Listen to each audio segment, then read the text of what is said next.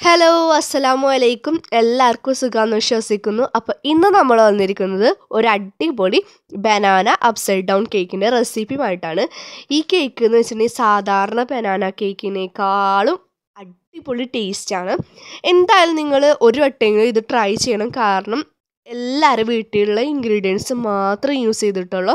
ഇതിൽ പാൽ യൂസ് ചെയ്യുന്നില്ല മൈദ അങ്ങനത്തെ ഒന്നും ഉപയോഗിക്കുന്നില്ല. വീട്ടിലുള്ള ഇൻഗ്രീഡിയൻസ് മാത്രം ഉപയോഗിച്ചുകൊണ്ടാണ് നമ്മൾ ഈ ഒരു അടിപൊളി കേക്ക് ഉണ്ടാക്കിയേക്കുന്നത്. നല്ല ടേസ്റ്റാണ്. ഇതിന് മുകളിൽ ഒരു കാരമലൊക്കെ വരുന്നുണ്ട്. അത് നിങ്ങൾക്ക് റെസിപ്പി കണ്ടാൽ മനസ്സിലാവും.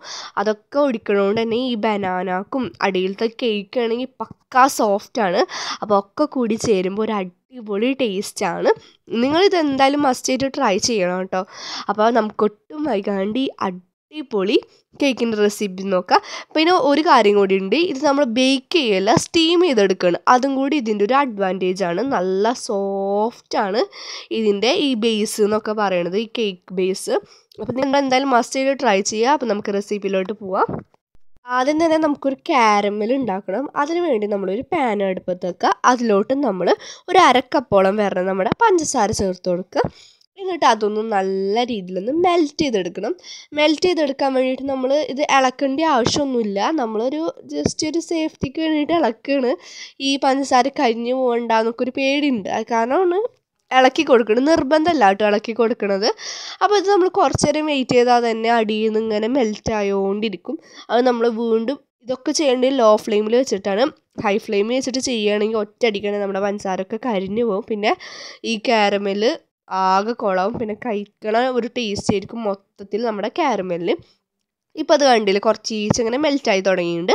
ഇത് നമ്മൾ കുറച്ച് നേരം കൂടി വെയിറ്റ് ചെയ്ത് കഴിഞ്ഞിട്ടുണ്ടെങ്കിൽ കംപ്ലീറ്റ് ആയിട്ട് മെൽറ്റ് ആവും. എന്നിട്ട് ഒരു ഗോൾഡൻ ബ്രൗൺ കളർ ആവണം വരെ നമ്മൾ വെയിറ്റ് ചെയ്യണം. ഇത് നമ്മൾ ജസ്റ്റ് മിക്സ് ആക്കി കൊടുക്കുന്നുണ്ട്. കണ്ടില്ലേ? ഇപ്പോൾ ഇതാ ഏകദേശമൊക്കെ മെൽറ്റ് ആക്കിക്കണ് ഇതാ കുറച്ചും കൂടി കട്ടകളൊക്കെ ഉണ്ട്. ഇനി അതൊക്കെ മെൽറ്റ് ആയിട്ട് പ്യുവർ ആയിട്ടുള്ളത് കിട്ടണം. നല്ല എന്താ പറയുക ഈ ഒരു രീതിയിലാവണം. ഈ ഒരു രീതിയിലായി കഴിഞ്ഞിട്ടുണ്ടെങ്കിൽ നമുക്കൊരു രണ്ട് ടേബിൾ സ്പൂണോ വരണം നമ്മുടെ നെയ്യ് ചേർത്ത് കൊടുക്കാം. നെയ്യല്ല അല്ലാന്നുണ്ടെങ്കിൽ ബട്ടർ ചേർത്ത് കൊടുത്താലും മതി. ഞാനിപ്പോൾ നെയ്യിനൊരു പ്രത്യേക മണമല്ലേ അപ്പോൾ ആ ഒരു മണം നമ്മുടെ കേക്കിന് കിട്ടാൻ വേണ്ടിയിട്ടാണ് ഇവിടെ നെയ്യ് ചേർത്ത് കൊടുക്കുന്നത്. നിങ്ങൾക്ക് ഒന്നെങ്കിൽ ഈ നെയ്യ് നമ്മുടെ ഈ കാരമലിക്ക് ഒഴിക്കാണ്ട് ഡയറക്റ്റ് ആയിട്ട് തന്നെ നമ്മുടെ മുകളിലോട്ട് ഒഴിച്ചാലും മതി.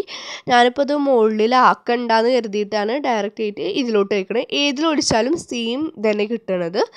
അപ്പം ഞാനിത് ഡയറക്റ്റ് ആയിട്ട് കാരമലിലാണ് ഒഴിച്ചേക്കണത്. നിങ്ങൾക്ക് ഒന്നെങ്കിൽ നമ്മുടെ ഇതുണ്ടല്ലോ ടിന്ന് നമ്മുടെ കേക്ക് ബേക്ക് ചെയ്തെടുക്കുന്ന ആ ഒരു ടിന്നുണ്ടല്ലോ സോറി ബേക്കല്ല സ്റ്റീം ചെയ്തെടുക്കുന്ന ആ ഒരു ടിന്നുണ്ടല്ലോ അതിലൊഴിച്ചെടുത്താൽ മതി. ഞാനിപ്പോൾ എടുത്തിരിക്കുന്നത് ഒരു പ്ലേറ്റാണ് ഒന്നെങ്കിൽ കേക്ക് ടിന്നെടുക്കുക അതല്ലാന്നുണ്ടെങ്കിൽ ഇതേമാതിരി ഒരു പ്ലേറ്റ് എടുത്താലും മതി. ഏതായാലും സെയിം തന്നെയാണ് കിട്ടുക നമ്മുടെ കേക്ക്. അപ്പോൾ അതാ ഇത് നമ്മൾ കംപ്ലീറ്റ് ആയിട്ട് നമ്മുടെ കാരമൽ ഒഴിച്ചു കൊടുത്തിട്ടുണ്ട്. ഇനി ഒന്ന് ജസ്റ്റ് ഒന്ന് തിരിച്ചു കൊടുക്കുക. നമ്മൾ പ്ലേറ്റ് കൊണ്ടൊന്ന് ജസ്റ്റ് ഒന്ന് ഒന്ന് തിരിച്ചു കൊടുക്കുക പക്ഷേ ഇത് തിരിച്ചു കൊടുത്തിട്ടുണ്ടെങ്കിൽ എല്ലായിടത്തേക്കും ആവുമൊന്നുമില്ല കാരണം എന്താ?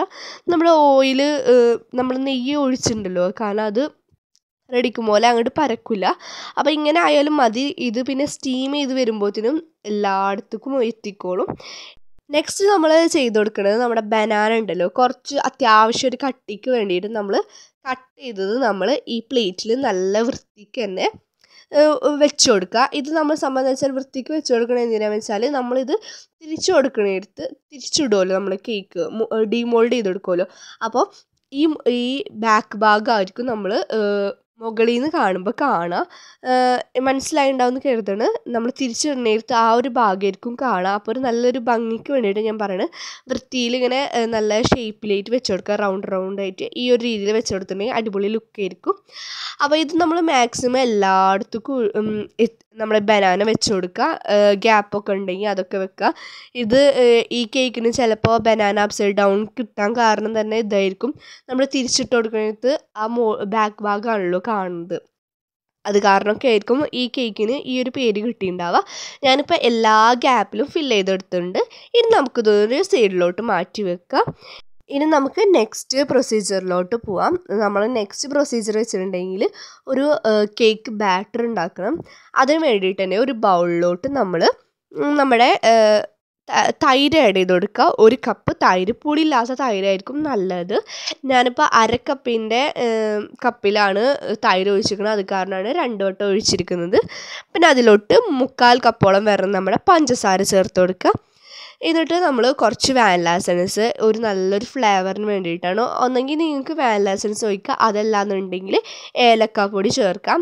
കൂടുതൽ ടേസ്റ്റ് തോന്നിയത് എനിക്ക് വാനില എസൻസിനോടാണ് നമ്മുടെ തൈരിന്റെ ആ ഒരു കട്ടകളുണ്ടല്ലോ നിങ്ങൾക്ക് കണ്ടാൽ ശ്രദ്ധിച്ചാൽ മനസ്സിലാവുണ്ടാവും. ആ കട്ടയും പഞ്ചസാരയും എല്ലാം കൂടി നല്ല രീതിയിൽ അലിഞ്ഞിട്ട് അടിപൊളിയായിട്ട് കിട്ടിയിട്ടുണ്ടെങ്കിൽ നമുക്ക് നമ്മുടെ മിക്സാക്കിൽ നിർത്താവുന്നതാണ്. ഇനി നമുക്ക് ഇതിലോട്ട് ഡ്രൈ ഇൻഗ്രീഡിയൻസ് നമുക്ക് അരിച്ച് ചേർത്ത് കൊടുക്കണം. അതിന് വേണ്ടിയിട്ട് ഒരു അരിപ്പയിലോട്ട് നമ്മൾ രണ്ട് ടീസ്പൂണോളം വരെ നമ്മുടെ ബേക്കിംഗ് പൗഡർ ചേർത്ത് കൊടുക്കുക ബേക്കിംഗ് സോഡ ആവശ്യമില്ല ഇതിലോട്ട്.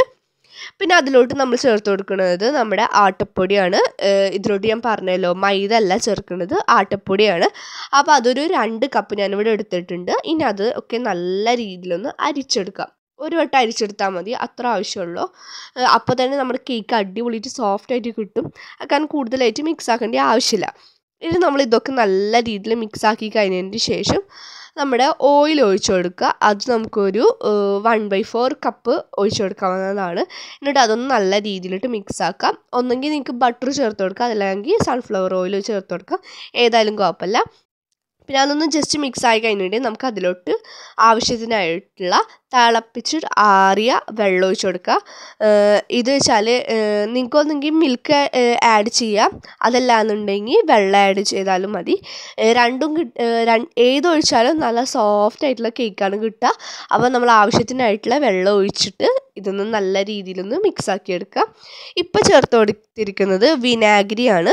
അതൊരു രണ്ട് ടേബിൾ സ്പൂണോളം ചേർത്തിട്ടുണ്ട്. ഇത് നമ്മൾ ചേർത്ത് കൊടുക്കണമെന്ന് വെച്ചാൽ നമ്മുടെ കേക്ക് അടിപൊളിയായിട്ട് സോഫ്റ്റ് ആയിട്ട് കിട്ടും. നമ്മളിത് സ്റ്റീം ചെയ്തെടുക്കുകയാണെങ്കിലും ബേക്ക് ചെയ്തെടുക്കുകയാണെങ്കിലും നമ്മുടെ കേക്ക് നല്ല അടിപൊളി സോഫ്റ്റ് ആയിട്ട് കിട്ടാൻ വേണ്ടിയിട്ട് നമ്മുടെ ഈ വിനാഗിരി ഹെൽപ്പ് ചെയ്യും. നിങ്ങൾ ശ്രദ്ധിച്ചിട്ടുണ്ടെങ്കിൽ കാണാം. നമ്മളിത് ഒഴിച്ച ആ ഒരു ഭാഗത്ത് ഒരു കളർ ചേഞ്ച് ഉണ്ടാവും. അത് സംഭവം എന്താ വെച്ചാൽ നമ്മുടെ ബേക്കിംഗ് പൗഡറുമായിട്ട് അത് റിയാക്ട് ചെയ്യുന്നതാണ്.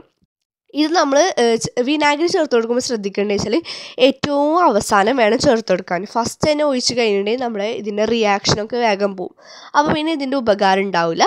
കാരണം ഈ വിനാഗിരി ഒക്കെ ഒഴിച്ചിട്ടുണ്ടെങ്കിൽ ജസ്റ്റ് ഒന്ന് ഫോൾഡ് ചെയ്തെടുത്തതിന് ശേഷം നമ്മൾ ഇത് നേരെ തന്നെ നമ്മുടെ നമ്മൾ നേരത്തെ എടുത്തു വെച്ചിരിക്കുന്ന ആ ഒരു ബനാനയുടെ ഒരു ഇതുണ്ടല്ലോ ആ പ്ലേറ്റിലോട്ട് ഇത് കംപ്ലീറ്റ് ആയിട്ട് ഒഴിച്ചു കൊടുക്കുക കണ്ടില്ലേ? അടിപൊളി കൺസിസ്റ്റൻസിയാണ് ഈ ഒരു കൺസിസ്റ്റൻസിയാണ് നമ്മുടെ ബാറ്ററിന് വേണ്ടത്. ഒരു റിബൺ പരിവം കണ്ടില്ലേ? ഈ ഒരു കൺസിസ്റ്റൻസിയാണ് വേണ്ടത്.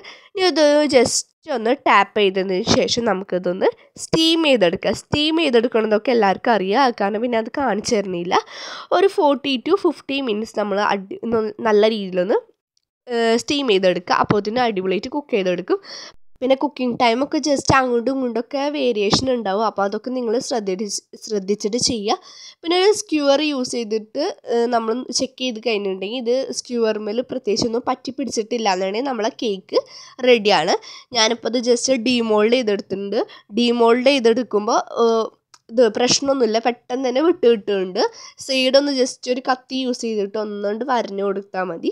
പെട്ടെന്ന് എന്റെ അടിഭാഗം ഒന്ന് ജസ്റ്റ് ഒന്ന് പെട്ടെന്ന് തന്നെ കിട്ടും. നമ്മൾ ജസ്റ്റ് ഒന്ന് തിരിച്ചിട്ടതിന് ശേഷം രണ്ട് മൂന്ന് കൊട്ട് കൊട്ടിയാൽ മതി. അപ്പോൾ തന്നെ ഇത് ഓട്ടോമാറ്റിക്കലി അതുകൊണ്ട് പ്ലേറ്റിലോട്ട് വീഴും. അപ്പോൾ അത് അടിപൊളി ടേസ്റ്റാണ് കേട്ടോ കേക്കിന് നമ്മൾ എന്താ പറയുക ഈ ബനാനയും കാരമലൊക്കെ വരുമ്പോൾ ഒരു പ്രത്യേക കോംബോയാണ് നിങ്ങൾ എന്തായാലും ഇത് ട്രൈ ചെയ്യണം. കാരണം പഴം എന്തായാലും പഴുത്തിരിക്കുന്നുണ്ടാവും. പിന്നെ ഇതിലോട്ട് പ്രത്യേകം ശ്രദ്ധിക്കേണ്ടത് പഴുത്ത പഴം വേണം എടുക്കാൻ. അപ്പോഴേക്കും നല്ല ടേസ്റ്റ് കേട്ടോ ഇത് മുറിക്കണ നേരത്തായാലും നമ്മുടെ കത്തി പെട്ടെന്ന് തന്നെ ഉള്ളിലേക്ക് പോവുന്നുണ്ട്. അടിപൊളി ടേസ്റ്റാണ് കേട്ടോ പിന്നെ ഇത് നമുക്ക് വേണമെങ്കിൽ എന്താ പറയുക ചൂട് ചൂടോട് കൂടിയിട്ട് കഴിക്കാം. അതല്ലാന്നുണ്ടെങ്കിൽ ചൂടാറിയിട്ട് കഴിക്കാം. അതല്ലാന്നുണ്ടെങ്കിൽ തണുപ്പിച്ചിട്ടും കഴിക്കാം. തണുപ്പിച്ചിട്ട് കഴിക്കുമ്പോഴാണ് എനിക്ക് ഒന്നും കൂടി ഇഷ്ടമായത് തണുപ്പിക്കാനും ടേസ്റ്റ് ഉണ്ട്. അതല്ല പറയണത്. പക്ഷേ എനിക്ക് കൂടുതൽ ഇഷ്ടമായത് തണുപ്പിച്ചിട്ട് കഴിക്കുമ്പോഴാണ് ഒരു അടിപൊളി ടേസ്റ്റ് തോന്നിയത് കേട്ടോ. അപ്പോൾ അതാ ഞാൻ എന്തായാലും മുറിച്ചിട്ട് ഒന്ന് കഴിച്ചു നോക്കി. അടിപൊളി ടേസ്റ്റാണ് നല്ല സോഫ്റ്റാണ് നിങ്ങൾക്കിത് കണ്ടാൽ തന്നെ മനസ്സിലാവും. നല്ല ഭയങ്കര സോഫ്റ്റാണ് നമ്മൾ എന്താ പറയുക പഞ്ഞി പോലെ എന്നൊക്കെ പറയില്ലേ? അമ്മ അതൊരു ആണ്. നമ്മൾ വിനാഗിരി ഒക്കെ യൂസ് ചെയ്തുകൊണ്ട് തന്നെ അടിപൊളി ആണ്. അപ്പോൾ നിങ്ങൾക്ക് എന്തായാലും ഈ റെസിപ്പി ഇഷ്ടപ്പെട്ടു എന്ന് കരുതുന്നു. ഇഷ്ടപ്പെടുകയാണെങ്കിൽ എന്തായാലും ഒന്ന് ഒരു വട്ടെങ്കിലും എന്തായാലും ഇത് ട്രൈ ചെയ്ത് നോക്കാം കേട്ടോ എന്തായാലും പഴം വീട്ടിൽ ഇരിപ്പുണ്ടാവും. അപ്പോൾ നിങ്ങളൊന്ന് ട്രൈ ചെയ്ത് നോക്കാം. ഒരു വെറൈറ്റി ഒക്കെ ആണെങ്കിൽ ഇതെന്തായാലും ട്രൈ ചെയ്ത് നോക്കുക അപ്പം നിങ്ങൾക്ക് നമ്മുടെ ചാനൽ ഇഷ്ടപ്പെടുകയാണെങ്കിൽ ഒരു ലൈക്കും ഷെയറും കമന്റും സബ്സ്ക്രൈബും ഒക്കെ പോന്നോട്ടെ. അപ്പം നമുക്കൊരു മറ്റൊരു വീഡിയോ ആയിട്ട് കാണുന്നവരെ എല്ലാവർക്കും ടേക്ക് കെയർ ബബായ് അസ്സാം വലൈക്കും താങ്ക്സ് ഫോർ വാച്ചിങ്